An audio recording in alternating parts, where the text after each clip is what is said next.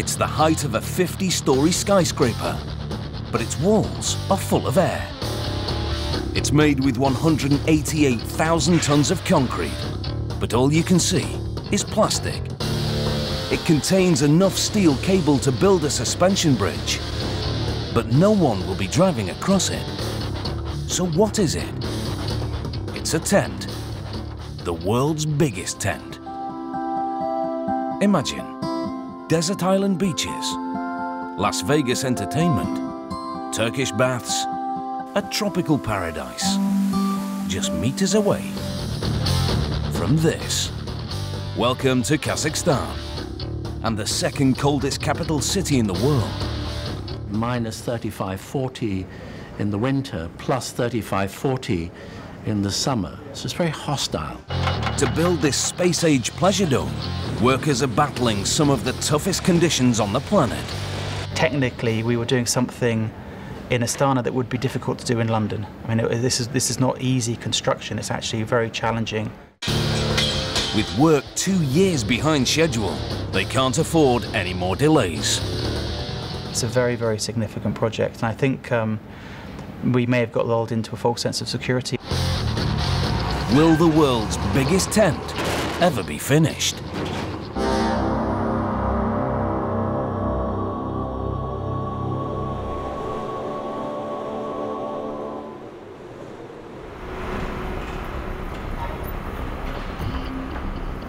At a construction site in central Kazakhstan, the early shift is arriving for work. It's bitterly cold, minus 20 degrees Celsius. Despite throwing thousands of workers onto the project, construction of one of the world's most radical buildings is two years behind schedule. But one man is determined to get the job back on track. Engineering troubleshooter Salami Gurel works for the Turkish construction company Sembol. When the experts talk of impossible, Sembol calls in Gurel. The pressure is just the time. Everybody wants his building you know, on time. But in this weather conditions, it's very, very difficult. Even in a good year, winter in central Kazakhstan is bone-chilling. And this winter has been unusually extreme. When the wind starts, you feel minus 55. It's very cold. So cold that for many workers it's a fine line between life and a freezing death. I remember one day they said someone is frozen up there. So the team went up and took him down. Such things happen. The frozen worker survived. But Salami faces a far bigger problem than the cold. And that's Kazakhstan's president, Nursultan Nazarbayev. The president personally commissioned the building He's tired of waiting for it and has now demanded that it must be finished in time for his birthday, in just 18 weeks' time. And in Kazakhstan, when the president shouts, everybody jumps. The new building is part of the president's vision to transform his country. Kazakhstan is vast. At 2.7 million square kilometers, it's the ninth largest country in the world. It perches on the Great Steppe of Central Asia, an area of semi-desert. For centuries, nomadic tribes herded their cattle across these remote grasslands, living in portable homes, traditional tents called yurts. For 71 years, it was part of the Soviet Union. But with independence in 1991, this country began an extraordinary period of rapid development the discovery of oil, vast amounts of it gave Kazakhstan wealth. And the president knew just how he wanted to spend it. He decided to build a new capital at a remote spot in the middle of the country, Astana. He called in some of the world's leading architects and told them to jump. Out went the Soviet monoliths. In came extraordinary architectural fantasies that owed more to Las Vegas than to Moscow. New government ministries, a stadium, a concert hall, a glass pyramid of peace. Each year a new architectural wonder, laid out on a master plan similar to Washington DC.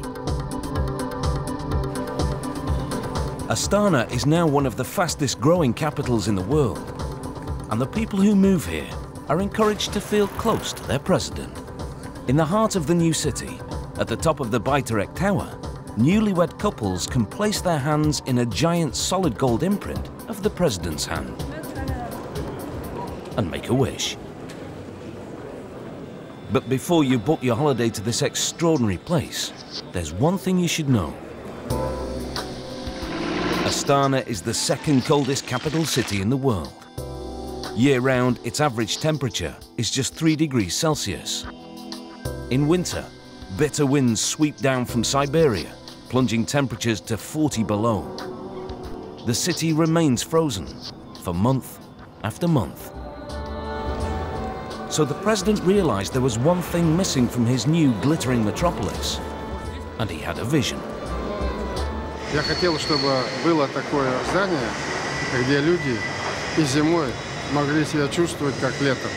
Чтобы здесь был пляж, место отдыха для детей, для взрослых, где одновременно могут отдыхать 10 тысяч человек.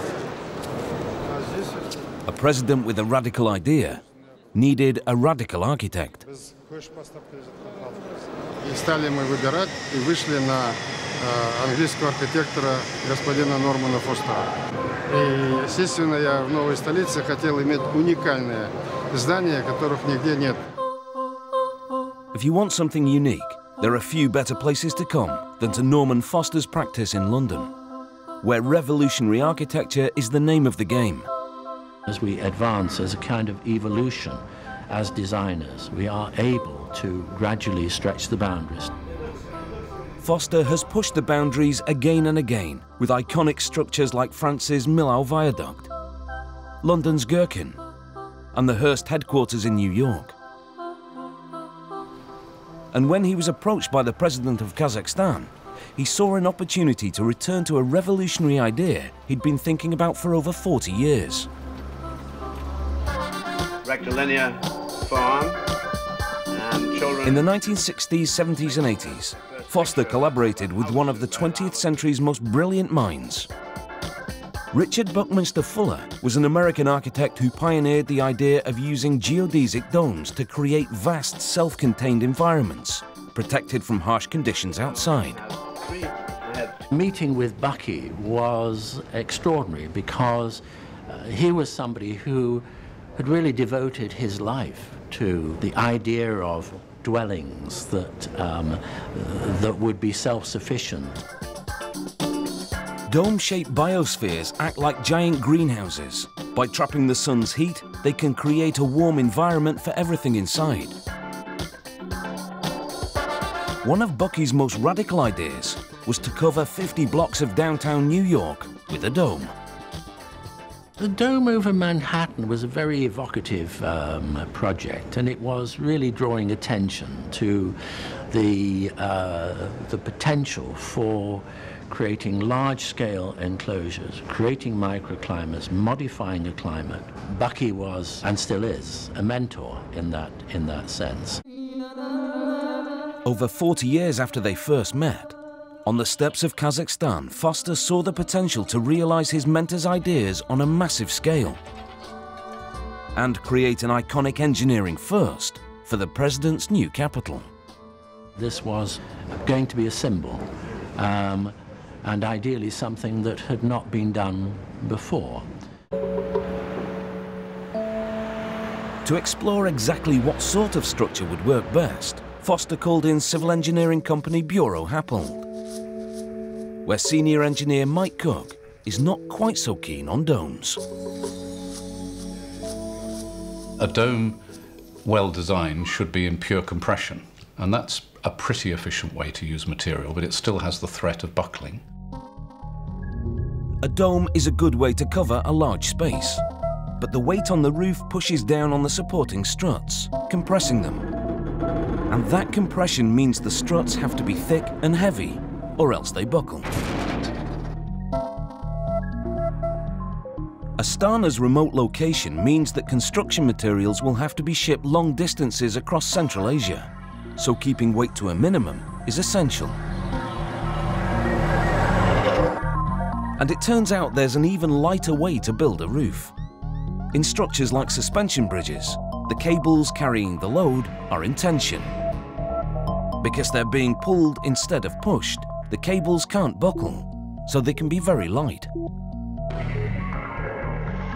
And if you transform a suspension bridge into a roof, you get a tent. A very big tent. The clue's in the name, I suppose. Tent, tent for tension. Um, and tension is, is the most efficient way you can carry force in a material. This is five times as efficient in terms of the ratio of the, of the steel to the volume and the area enclosed. So with that level of efficiency, Foster quickly settled on a tent. For his design team, led by Nigel Dancey, the challenge was to turn that simple idea into a thing of beauty. Once we had the idea of doing something with the mast and having the mast as really a beacon, that that was something that we really felt very strongly about. Within weeks, they'd fleshed out a design for an iconic angled tent. Inside, they devised a vast leisure complex that would fulfill the president's dream to give his people a sheltered year-round entertainment paradise. Laid out on six floors. Inside an outer concrete ring, there's a vast car park on the ground floor.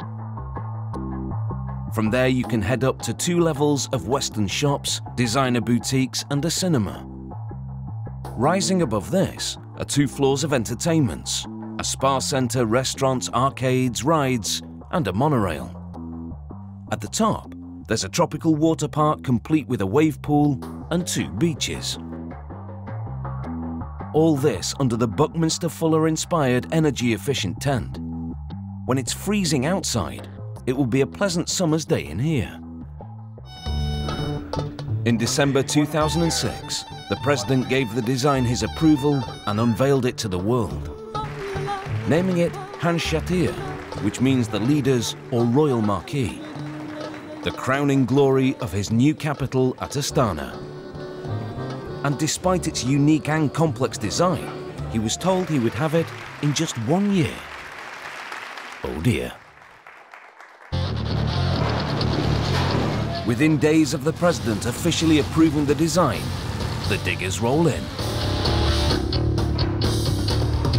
Construction of the world's biggest tent begins. Stage one is to build the foundations and the immense concrete ring that will anchor the tent into the ground. 195,000 cubic meters of soil are excavated. Concrete piles are sunk 10 stories deep into the earth. Construction crews cut, bend and wire together 9,000 kilometers of steel reinforcing rods.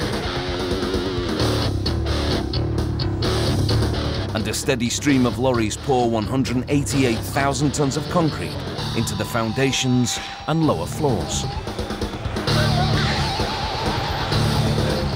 But this is a complex project on a vast scale, and it's soon apparent that the promise of building this structure in a single year really was mission impossible.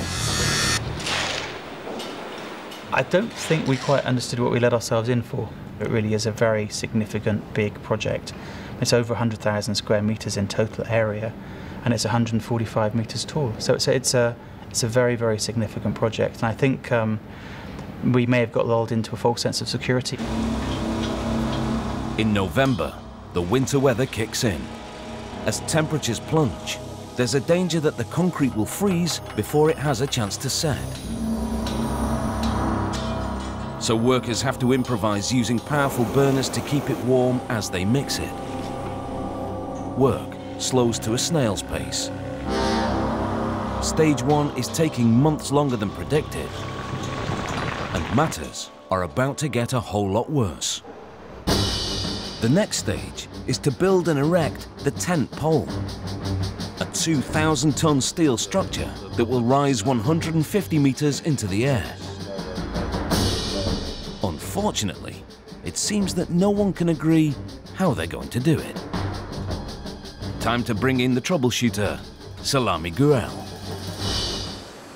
First design of Foster and Partners was a vertical mast. It was something we thought about quite long and hard.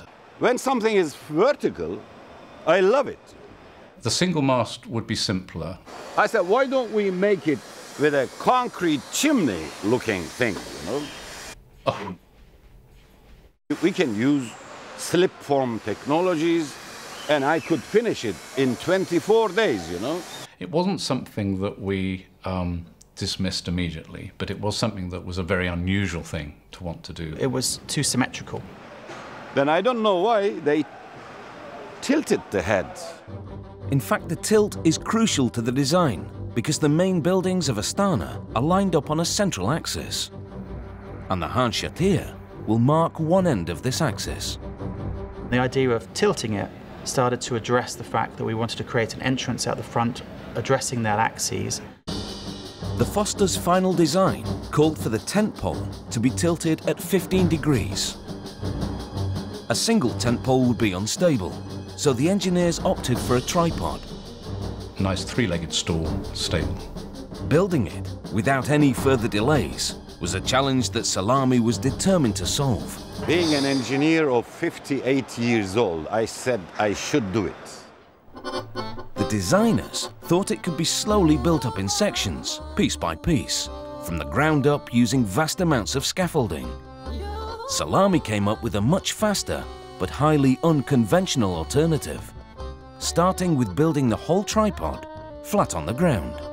He had the idea that he wanted to do everything on the ground, assemble everything, and then lift the whole tripod with its mast uh, already attached up into the sky in one, one brave move. That is something we probably wouldn't have wanted to propose. A major concern was that Salami's approach would require a vast crane, far bigger than anything available in remote Astana. Shipping one in would take months and cost a fortune. But never underestimate the troubleshooter. Can you imagine you should rent a 800 ton crane in 30 trucks, load them, bring here in two months, bring them back in two months? So we said, let us make our own crane. Of course, it will be no ordinary crane. Salami's plan is to use a brilliantly inventive combination of hinges, railway track, and some very high-tech winches. The tripod will be assembled horizontally, with two legs attached to giant hinges called pin joints, and one leg to a short stretch of track. Meanwhile, Salami's team will build a 60-metre tall tower, on top of which he will put his specialist winches, known as strand jacks. The jacks will pull up the tripod on its hinges, with the third leg sliding down the track into its final position. It's never been done before, and no one knows if it will work.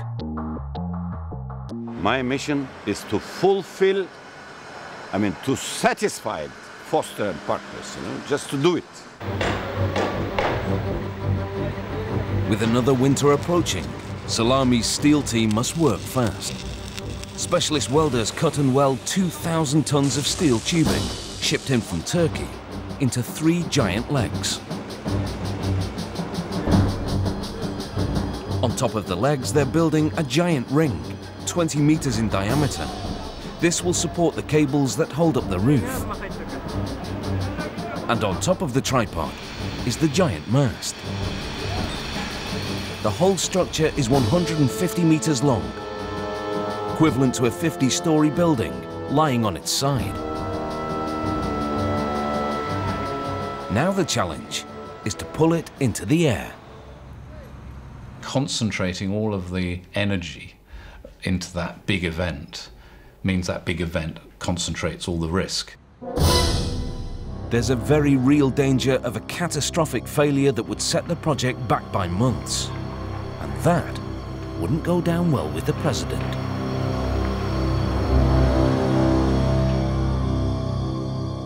To lift the tower, 16 strand jacks will grip the cables and pull up the giant tripod 50 centimeters at a time. Inside each strand jack, an upper chuck tightens to grip the cable. a lower chuck releases its grip, and a hydraulic piston pushes upwards, lifting the tripod. Next, the lower chuck tightens, the upper chuck releases, and the piston retracts. The whole process is then repeated time after time. To make sure the load is evenly distributed, all the strand jacks must work in perfect synchronization. As the day of the lift dawns, Salami's plan swings into action. At the top of the lifting tower sit his secret weapons. The hydraulic strand jacks have been brought in from Switzerland. They're costing $1 million to rent, so Salami's plan had better work. Initially, everything was sitting on supports, you know. But once you start pulling, all the forces should come to those pin joints, you know. Well, the pin joint has a base plate which is sitting on concrete foundation. The concrete has to withstand forces of up to 2,500 tons. Very, very big forces. So there's always that danger that some, some, someone missed something. You know, some bolt gets overstressed. As the lift begins, it's a critical moment. Can the cables take the load of the tripod? We just lifted up. There were 1,500 ton horizontal forces coming there. Nothing happened, you know. We were just airborne. To stop the tower falling over as it begins to raise the tripod, cables anchor it to the concrete rim of the building. Little by little, the strand jacks inch the tripod ever higher. Over the next 48 hours, it rises majestically into place.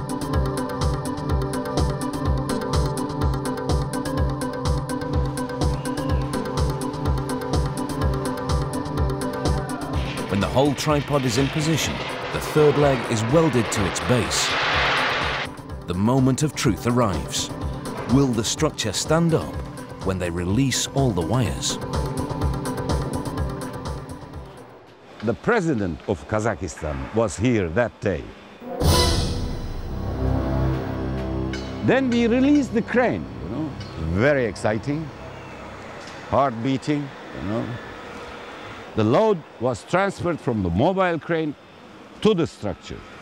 It was a, it was a great uh, piece of showmanship to have that event. But we did it. By ignoring the conventional way of doing things, Salami has saved hundreds of thousands of dollars. And he's got the tripod safely erected before another extreme winter sets in. But by the spring, the project is 16 months behind schedule, with some major challenges still to come. A new team of workers has arrived on site. The task facing these specialist engineering climbers is the most dangerous part of the whole project. Installing the high-tension cobweb of cables that will support the outer skin of the world's biggest tent. So It's unfair to call it a tent, really. You know, it is a precisely engineered tension structure. Whatever you call it, it needs a roof. Once again, the responsibility of making sure work progresses as quickly as possible falls to Salami Gurel. We had bundles of cables, 38 millimeter in diameter. The longest was about 140, 120 meter long, shortest around 95 meter long on the backside. The cables that will support the lightweight roof each weigh up to two and a half tons and have to be pulled up in pairs. While pulling them, there was a task to connect the, the blocks that connect the double cable, make it as a pair, at every 70 centimeters, you know. Getting everything exactly right is time consuming. Considering 190 pairs, if we can make one pair daily, then we need 190 days, and we didn't have so much time. Clearly, relying on a single team of expert climbers was going to put the project many more months behind schedule. We should increase the number of the teams plus the, the number of the lifting cable pulling devices. So Salami brings in nearly 300 extra workers, adding another nine teams. And equips them with winches stripped out of old Russian cranes. It's risky work for old equipment and inexperienced climbers, but the job instantly picks up speed. We have done, let's say, 10 pairs every day. So we have done it within almost 20 days. Salami's calculated risk pays off. The net of cables is quickly completed and the next crucial stage can get started. Tensioning. To cope with the weight of snow that will fall in winter, the whole roof needs to be able to move just the right amount. Early on in the project, we made this model, really simple model. There is either wind during the snowfall or after the snowfall, and that's going to build a heavy deposit of snow on one side, and that causes this, this de de deformation. But if you allow this rocking to occur or some movement at the top, uh, it actually helps reduce the buildup of stress on this side. Instead of a moving mast, Mike Cook has devised this moving hub. The hub is enormous, 17 metres tall and 20 in diameter. But despite its huge size and weight, in high winds or heavy snow loads, it can move 30 centimetres from side to side. A palm sweating 75 metres above the floor of the Khan Shatyr, Salami's assistant is inspecting the 12 pillars on which the hub rests. Astonishingly, these upper pillars aren't actually fixed to the tripod below. They simply rest on bearings. If you could pull them hard enough, they would come apart. Luckily, the thousand-ton load of the roof holds them down. To make sure the hub doesn't move more than 30 centimetres, the entire cable net must be stretched to just the right tension. That's the job of Alex Luca and his tensioning team. Working their way around the structure, they attach the ends of each pair of cables to two hydraulic rams. When Alex turns on the hydraulic pump, the rams push on a plate that pulls the cables tight. The nuts are then tightened and the process repeated on the next set of cables. The cables on the Khan Shatyr are tightened to an unusually high level, 80% of their maximum load. The wires will be as taut as the cables on a suspension bridge. With the cable net complete, the stunning shape of the Khan Shatyr takes its place on the Astana skyline. Inside, thanks to a temporary plastic roof, work on the interior can finally get started. Everyone's racing to play catch-up before the president's patience runs out.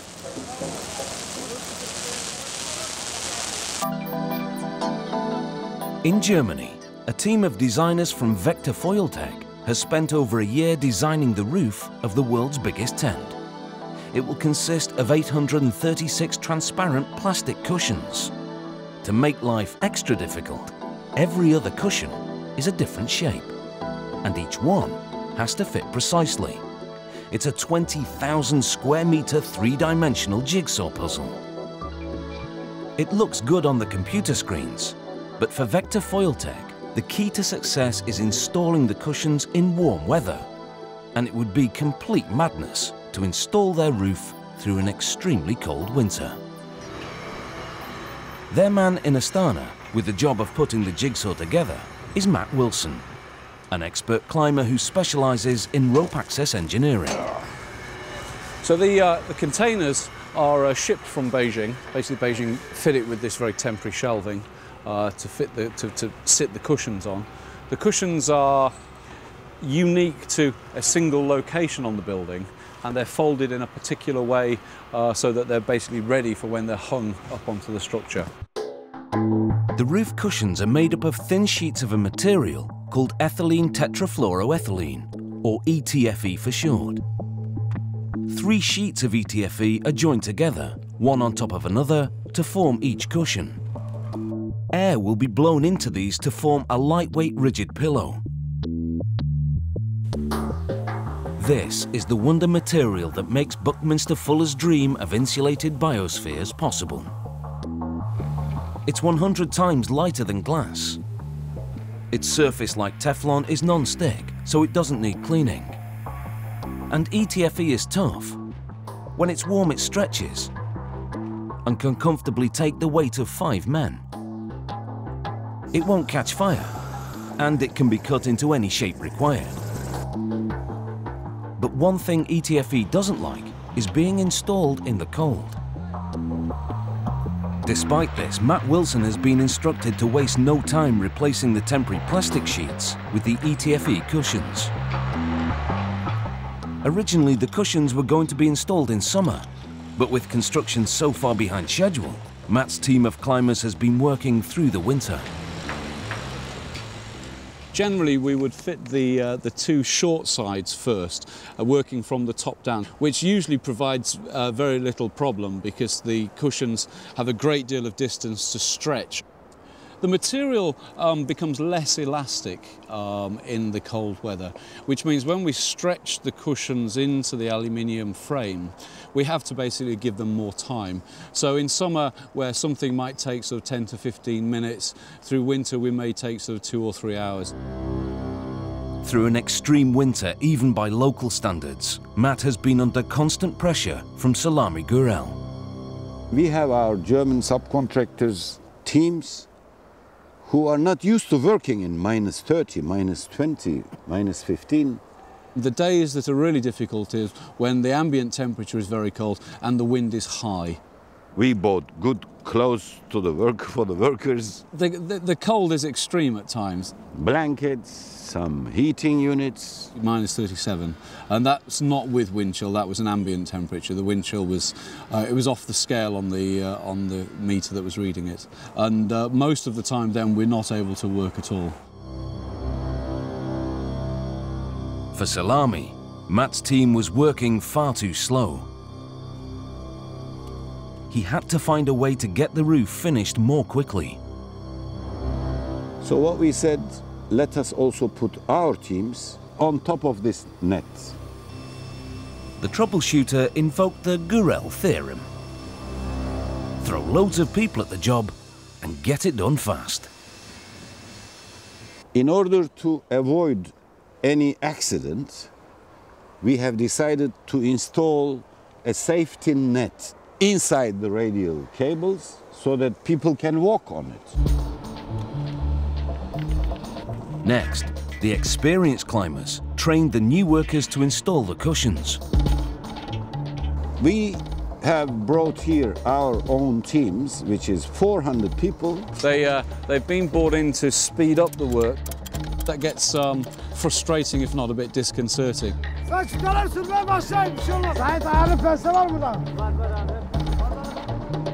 Ten teams, 83 cushions per team. And the team starting competing with each other, you know? It's the worst safety you've seen on the planet. Despite Matt's concerns, the teams press on. So this has to come down much further. Yeah. Into the hooked profile on the alloy here. Sometimes, Matt can hardly bear to watch. They rip a lot of the edges, and then the work I'm doing in terms of calculating things at the moment is calculating a repair schedule. By spring, the cushions are in place, but Matt still fears the worst, because now he must inflate the roof for the first time. And it seems inevitable that installing the ETFE in freezing cold will have damaged the cushions and caused dozens of leaks. Now we're ready to turn the supply on for the roof for the first time.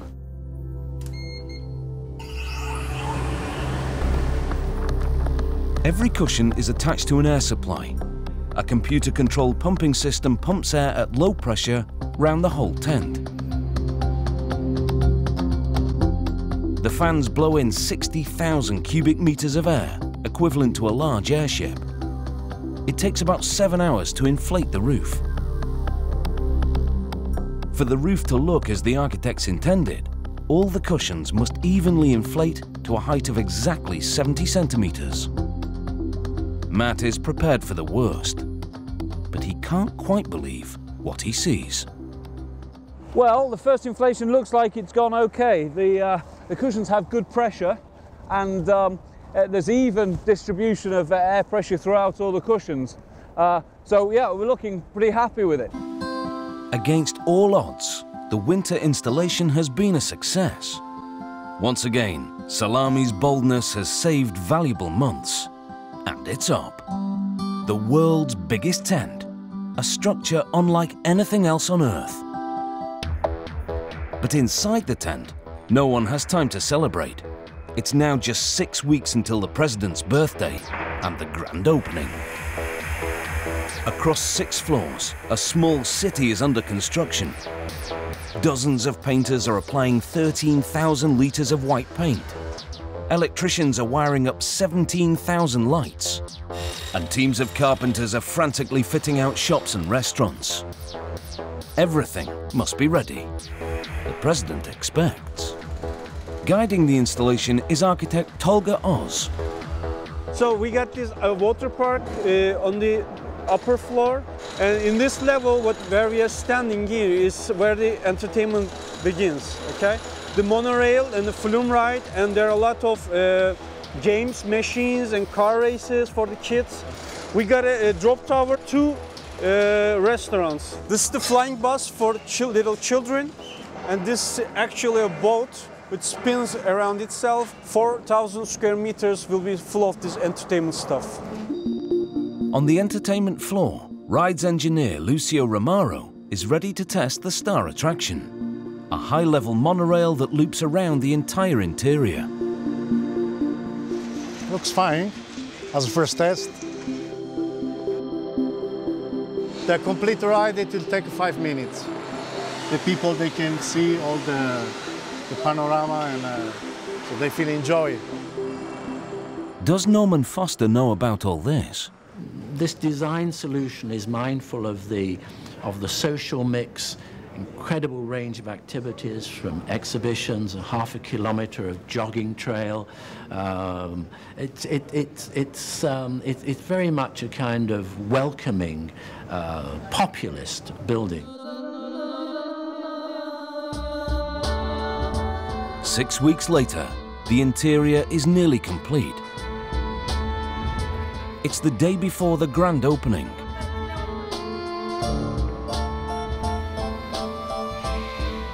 These teams of workers have almost completely transformed the Khan Shatyr from a building site into a 21st century pleasure palace. Thanks to the ETFE roof, the Khan Shatyr's plant life is in stark contrast to the dusty steps outside.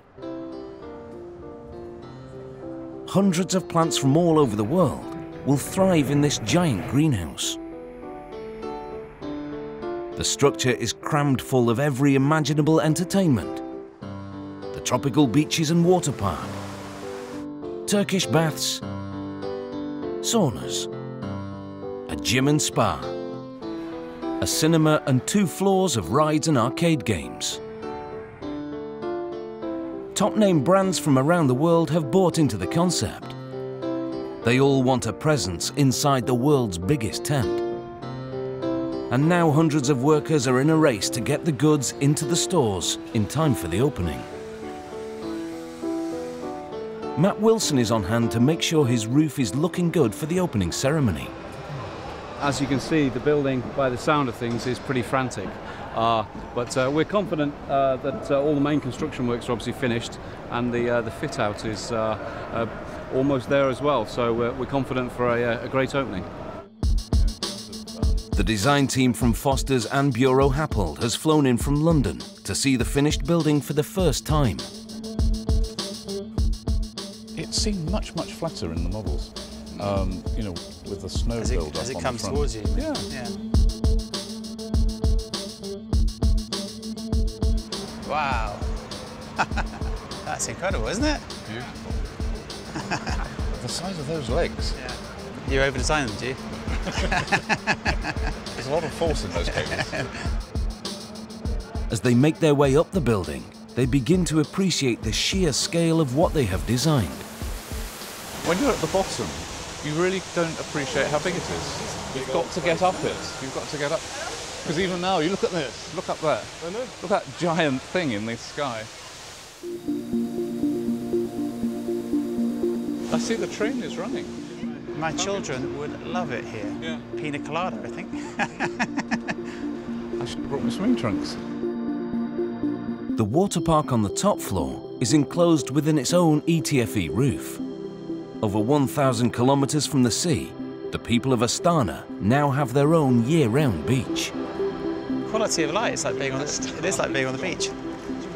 What more could you want? While the water park is maintained at tropical temperatures, the rest of the interior is maintained as a pleasant temperate zone all year round, thanks to some very clever design and engineering work. To fulfill Buckminster Fuller's dream of an environmentally efficient dome, the designers needed to harness nature to do a lot of the heating and cooling. So how did they manage it? Architect Philo Russo from Foster and Partners had the job of making it work. It was never meant to be a, um, a space that is, is fully conditioned overall. It was meant to be a shelter that it would uh, have a barrier uh, with the outside. In summer, with temperatures outside hitting 35 degrees Celsius, the challenge is keeping the building cool. To stop it becoming a giant greenhouse, the ETFE on the roof is covered in hundreds of thousands of silver dots. This fritting, as it's called, reflects some of the sun's heat. But the building also uses a natural process called the stack effect. It's the same as you have a, a chimney, a fireplace at home. You know, you get hot air and it's going to get sucked out. At the top of the tent, above the ring, adjustable slats allow warm air to be released. We've got openings all the way around the crown of the very top of the, the tent. When the wind is blowing and it's cooler, as it passes through, it's going to suck the hot air through. Inside the building, hot air, which is lighter than cold, rises naturally to the top of the tent. At this height, the wind outside blows faster than at ground level. It creates suction, drawing the hot air out. To replace it, chilled air is created at ground level. Air is drawn in through intakes around the building, cooled and blown out through vents and nozzles inside. We're not trying to uh, condition the entire volume, but just the occupied uh, spaces. So even in the hottest days of summer, it's pleasant inside.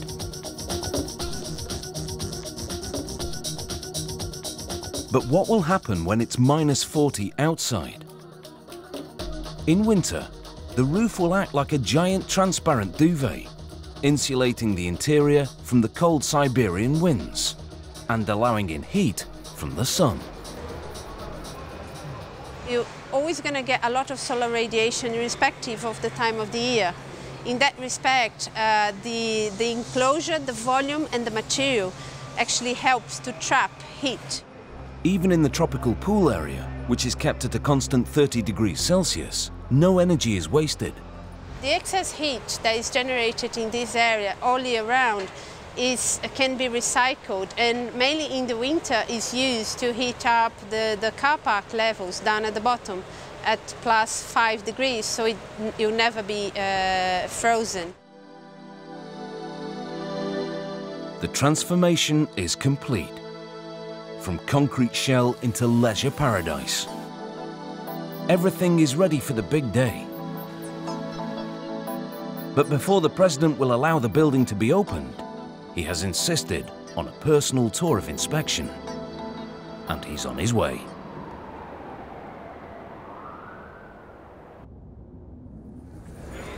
On the morning before their president's 70th birthday, the people of Astana stream towards the Khan Shatyr, 140,000 of them. But before the world's biggest tent is open to the public, it must pass its presidential inspection. It's a nervous time for all involved. What will he think of the latest addition to his capital city?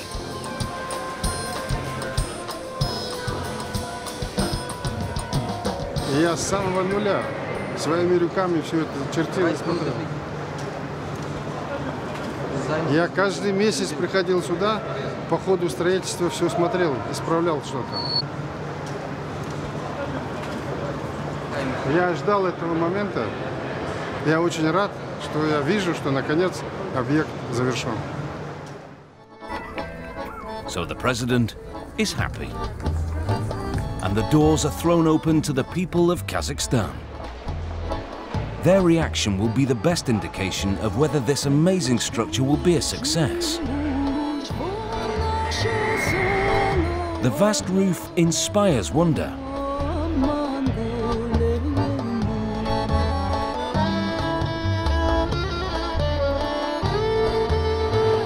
In the food court, young Kazakhs are quick to get their teeth into international cuisine.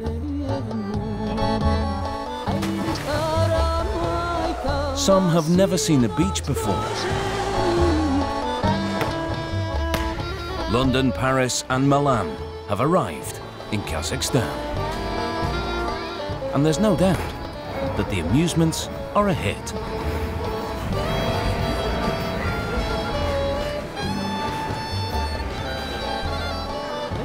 Мне понравилось, то, что такое необычное здание, во-первых. А, Также мне понравилось то, что м, как бы, ну, приятное место, тепло, уютно. Мне кажется, здесь народ будет всегда будет гулять.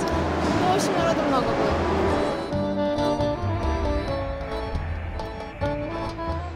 Ә, бұл ә, біздің еліміздің бір символдарының біреуі болады деп ойлаймын To celebrate the opening of his new building, the president lays on a spectacular opening ceremony. Ancient culture celebrates modern architecture. As horse riders, hunters and acrobats pay tribute to the thousands of workers who built the Khan Shatyr.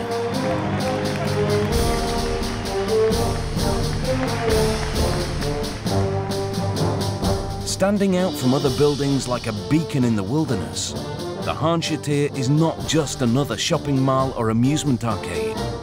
It's an iconic building, statement of the president's determination that Kazakhstan will be a leading player in the modern world. This is the symbol of Kazakhstan and Astana, let's say. This is a symbol for Astana. Yeah, I'm definitely proud of it. It's not the sort of project that comes comes along that often. Um, it's great to be able to, to make the most of that, and, and, and it's great to have worked with a whole pile of really interesting people um, to get where it got. I, I, I think the, fi- the final building is, is pretty breathtaking. For Norman Foster, the Khan Shatyr is a glorious realization of the visionary ideas of the great Buckminster Fuller. I very much hope that he, would have approved. I'd like to think that um, he would see it as very much in the spirit of, of his teachings, um, his philosophy. As an engineering achievement, this is the first step in a new direction, paving the way to low energy habitats and even cities of the future.